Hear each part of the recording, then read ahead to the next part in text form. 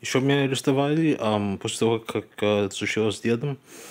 А, я жил а, с мамой, конечно, ам, в а, здании, ам, где рабочий а, Центральное информационного агентства. И ам,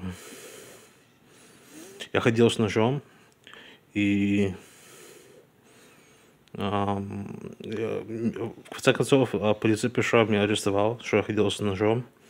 Они меня видели на улице, я ходил с ножом в руке.